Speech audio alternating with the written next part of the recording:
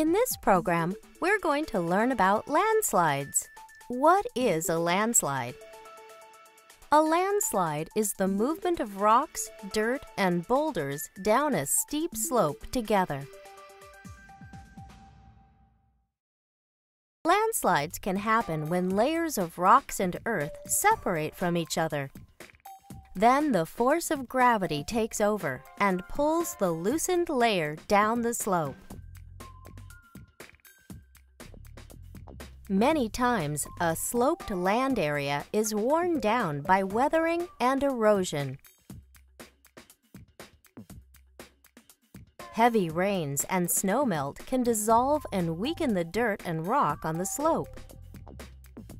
The roots of plants can act as a wedge and widen cracks in the soil and rock.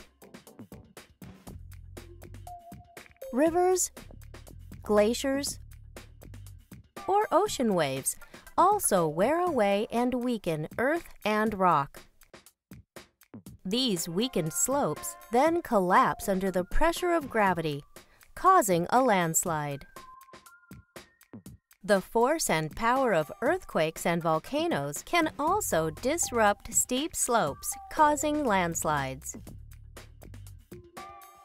Sometimes landslides are small and hardly noticeable.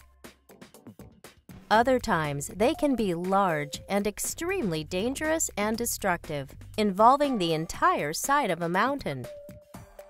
The largest landslide in history happened in May of 1980 with the eruption of Mount St. Helens.